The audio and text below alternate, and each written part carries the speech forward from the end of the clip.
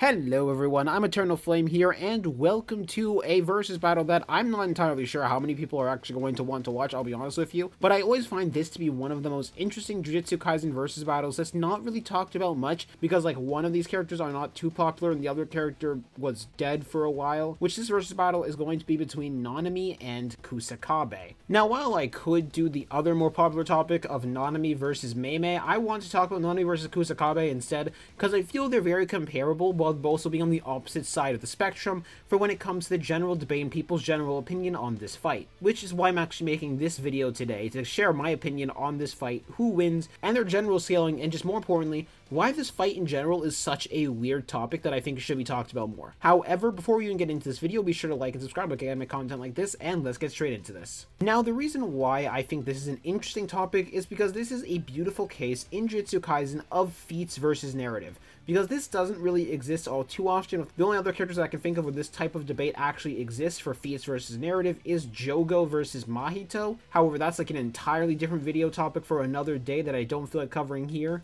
So, yeah.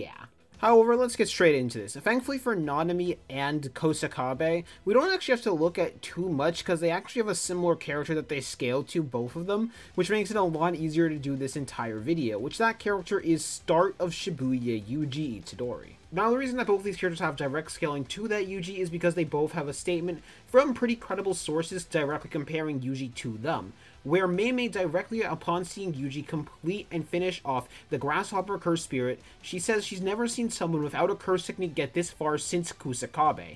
Meanwhile, when Ino directly sees Yuji's direct physical striking strength, he directly compares him to Nanami and says Yuji is just as strong or stronger than Nanami in terms of striking strength. Now you might be thinking, okay, these statements are pretty similar, so that should just put Kusakabe and Nanami on a very similar level, right?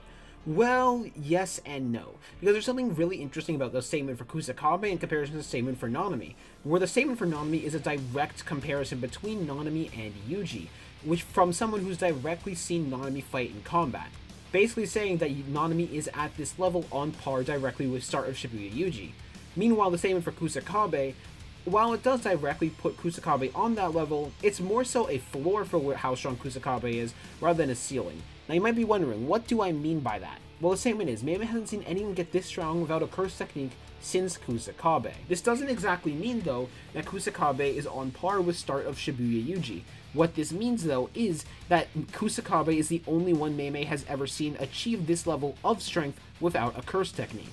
And while you could interpret Ino's statement as only talking about Nanami's base strength and not including Nanami's ratio technique in there, Kusakabe has a lot better feats in comparison to Nanami, and this is where we're going to get into the feats versus narrative that I talked about early on in this video, now that we got the one statement of comparison directly out of the way between Nanami and Kusakabe. Now, while Nanami does have feats like taking care of several transfigured humans, beating the ever-living hell out of Haruta, and finally fighting against Dagon, albeit not really being able to damage Dagon, but that's more so because of the massive amount of HP that Dagon has. Nanami's best scaling still is directly to scaling to early Shibuya Yuji, because I would put him above the likes of Maki and a bunch of other people, especially considering how far early Yuji scales. That allows Nanami to be able to do things like damage Hanami quite a bit, because this Yuji far exceeds the power that previous Yuji was at, where he could damage Hanami to begin with after landing the first Black Flash. I have an entire video going over how strong Yuji is,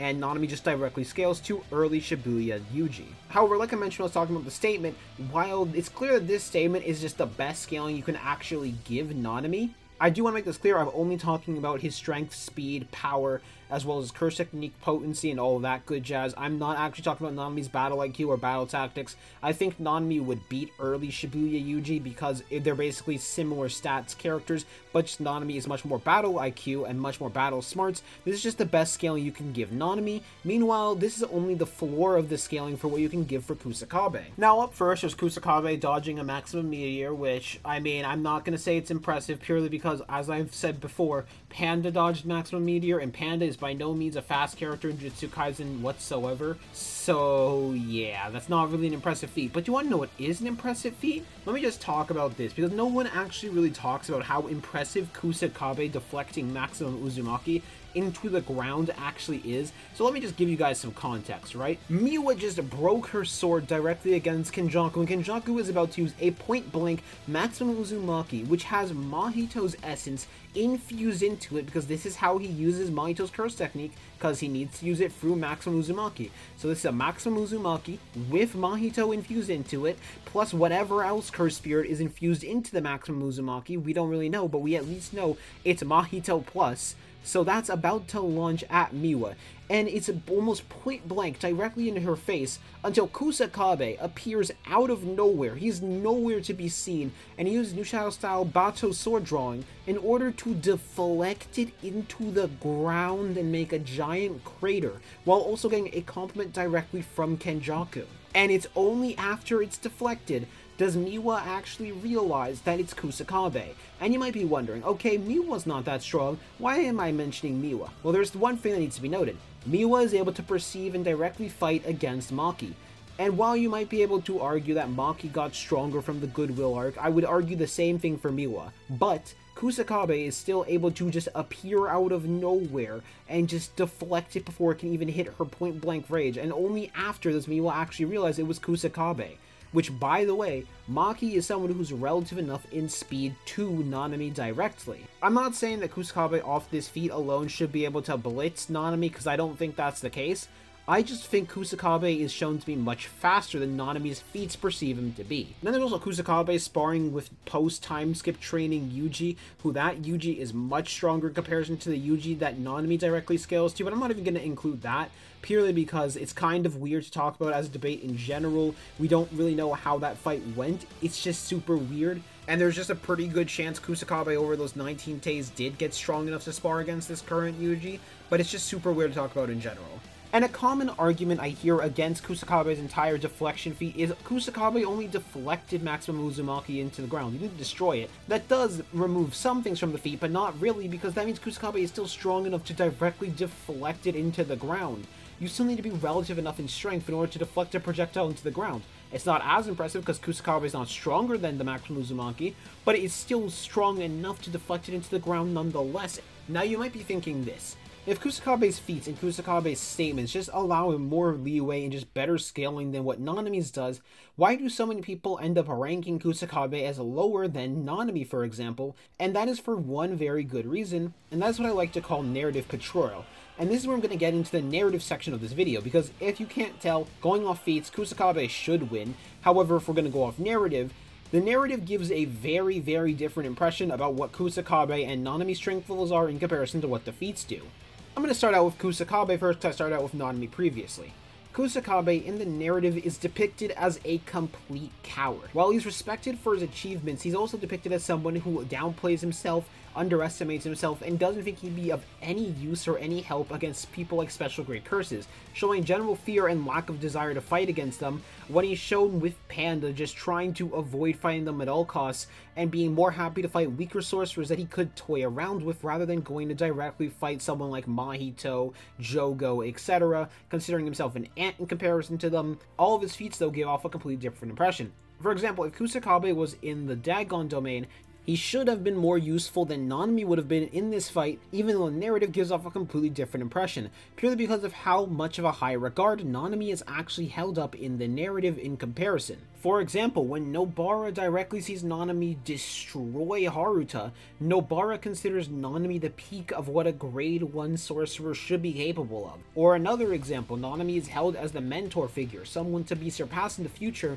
by both Megumi and Yuji, but he's also held to a high regard. While not held to the same level as someone like Gojo, he is still held as an achievement to reach nonetheless or him being the one who was previously holding the Black Flash record until Yuji ended up breaking it. Nanami is just held as a highly regarded sorcerer, someone who's not afraid to risk his life to protect other people, and he just in general looks incredibly strong because of his lack of fear and willingness to fight against stronger creatures in comparison to someone like Kusakabe, who while Kusakabe should be more capable of it than Nanami is, he is still more afraid and doesn't want to do it, especially against monsters like the Disaster Curses. However, this also is a very interesting case of the narrative not depicting what the feats had intended for them. For example, I believe Gege actually did want for Nanami to be stronger than Kusakabe.